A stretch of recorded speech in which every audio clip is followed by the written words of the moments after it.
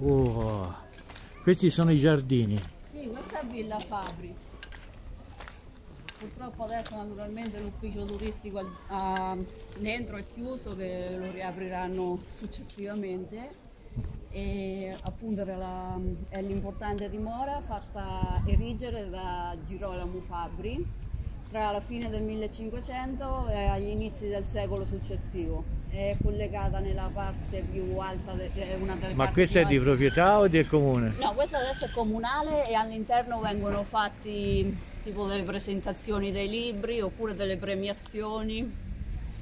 Perfetto. E adesso vi faccio vedere il giardino. È molto carino questo qua.